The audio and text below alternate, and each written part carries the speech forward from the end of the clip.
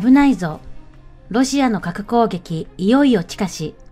火に油を注ぐウクライナへの長距離ミサイル供与。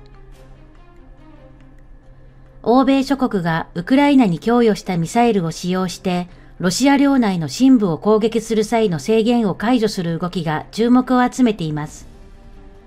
特に議論されているのは、アメリカ製の a タクムス陸軍戦術ミサイルシステム、イギリスの空中発射巡航ミサイルストームシャドウ、フランスのスカルプなどの兵器です。a タクムスはアメリカが製造した長距離ミサイルであり、約 170kg の爆薬を搭載し、最大 306km 先の目標を攻撃することが可能です。発音はアタックエムズとなります。ニューヨークタイムズ紙の4月24日の報道によれば、ジョー・バイデン大統領は2月中旬に100発以上の a タクムスとクラスター弾をウクライナに送ることを秘密裏に承認し、一部は4月にウクライナに到着しました。このミサイルはクリミアの飛行場やウクライナ南東部のロシア軍を攻撃するために使用されています。さらにイギリスとフランスもウクライナに巡航ミサイルを供与しています。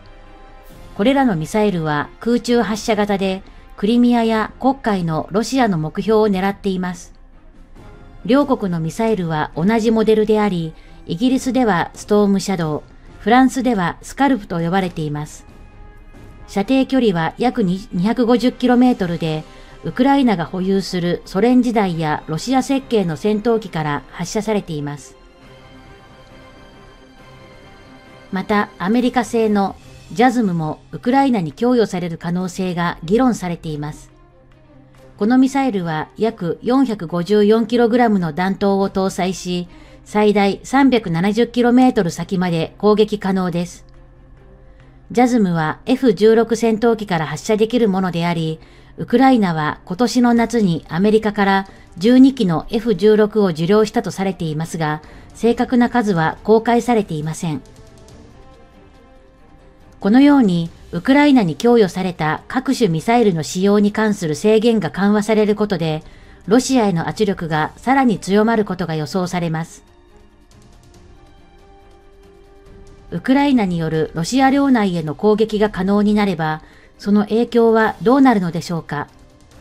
現在、ロシアの航空機は避難済みですが、もしウクライナがストームシャドウやエータクムスなどの兵器を使用して、ロシア領内の重要拠点を攻撃することが認められれば、それは戦争の流れにどのような影響を与えるのでしょうか。ウクライナの防衛に寄与する可能性。ウクライナがロシア領内深部を攻撃できる能力を持てば、ロシアの爆撃機やミサイルの基地に打撃を与えることができます。これにより、ウクライナに対するロシアの攻撃能力がそがれ、防衛の強化につながるかもしれません。戦争研究所 ISW の報告によれば、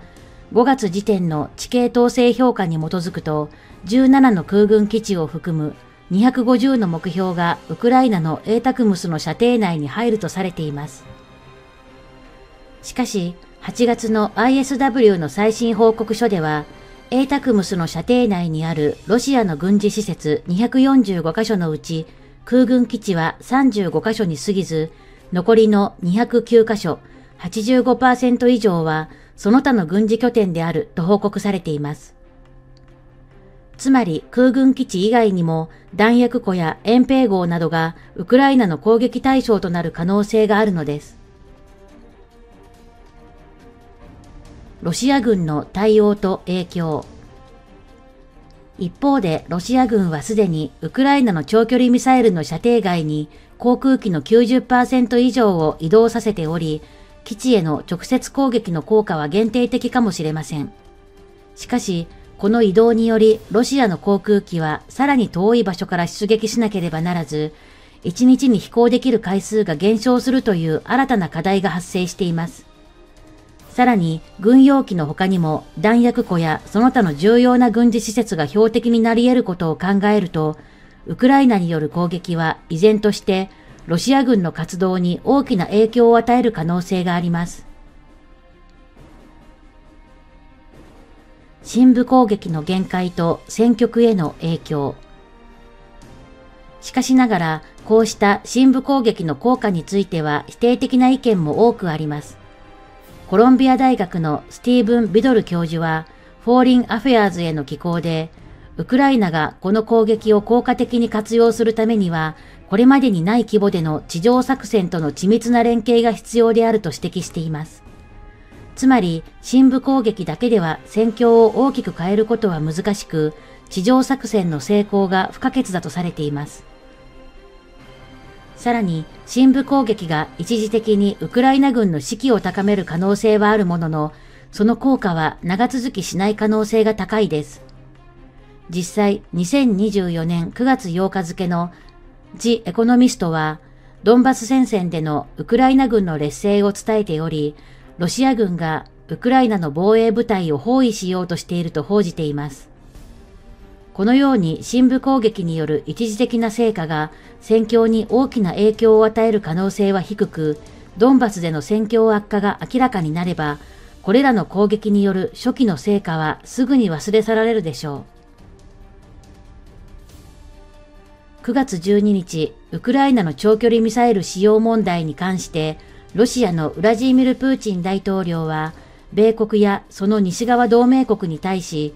ウクライナがロシアの奥地にまで武器を使用することを許すならば、NATO 北大西洋条約機構とロシアが戦争状態に陥る可能性があると警告しました。この発言は非常にセンセーショナルで、ニューヨークタイムズ紙がその全文を英語に翻訳して公開するほどでした。以下にその主要部分を翻訳してご紹介します。現在、キエフ政権は無人航空機やその他の手段を用いてロシアへの攻撃を行っていますが、もし欧米製の長距離精密兵器が使われることになれば、これは全く異なる次元の話となります。これについてはすでに述べたことですが、専門家なら誰でも理解していることです。ウクライナ軍には西側諸国製の最新の長距離精密システムを用いて攻撃を行う能力はありません。そんな能力は彼らにはないのです。この種の攻撃は人工衛星からの情報を用いなければ不可能です。ですが、ウクライナは人工衛星を保有していません。これがまず一つ目のポイントです。二つ目の非常に重要な点。そしておそらく最も決定的な点は、NATO の軍人だけがこれらのミサイルシステムの飛行任務を遂行できるという事実です。ウクライナの軍人はこれを行うことができません。したがってこの問題は単にウクライナ政権がこれらの武器を使ってロシアを攻撃するかどうかではありません。むしろ NATO 諸国が軍事的にこの紛争に直接関与するかどうかの決定にかかっています。もし NATO 諸国がそのような決定を下すならば、それはすなわち NATO、米国、そして欧州諸国がこの戦争に直接参加することを意味します。この直接的な関与はもちろんこの紛争の性質と展開を大きく変えることになります。これはつまり NATO 諸国、米国、欧州諸国がロシアと戦争状態に入ることを意味します。もしそうなれば、この紛争の本質が根本的に変わるため、我々はその脅威に基づいて適切な対応を取る必要が生じます。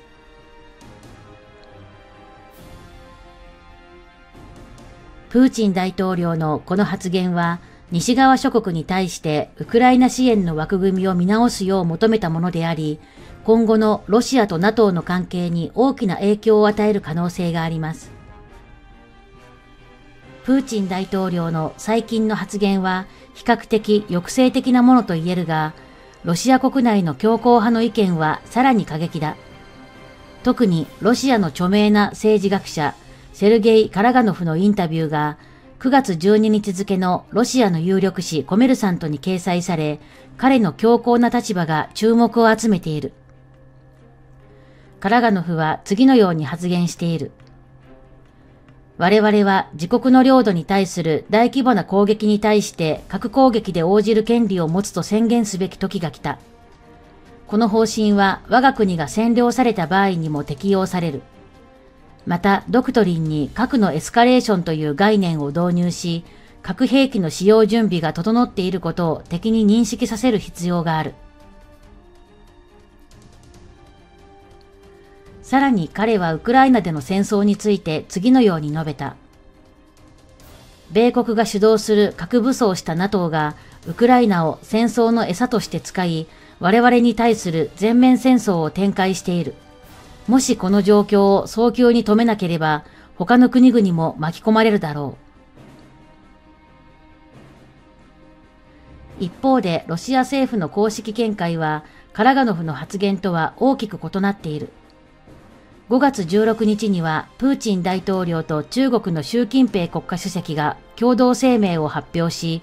2022年1月3日の核戦争の予防と軍拡競争の回避に関する核保有5カ国首脳の共同声明に基づき、核戦争は勝者が存在せず、決して行うべきではないという原則を再確認している。さらに、中国は同年7月に、ロシアを含む核保有国に対して核兵器の先制使用を放棄するよう再提案し、9月には中国外務省も核兵器は使用されるべきではなく核戦争は避けるべきだと強調している。このため、ロシアが核兵器を容易に使用することは、対中関係を考慮すると難しい。しかし、国内の強硬派は依然として強い不満を抱いている。カラガノフはインタビューの中で、核ドクトリンの強化が必要だと主張し、ロシア指導部が核兵器を使用する用意があることを明確に示すべきだとも述べている。彼に、誰に対して使用するのかと問われると、彼は NATO のウクライナ侵攻を支持する国々だと断言した。また彼は核エスカレーションの段階に言及し、核攻撃に至るまでには10から15段階があるが、現在は5段階しか進んでいない。次にウクライナ政権を支援する NATO 諸国の施設を攻撃する必要があると述べた。ロシア領内への攻撃が強硬派を刺激し、プーチン大統領が核兵器使用に踏み切る時期が早まる可能性もあるという懸念が広がっている。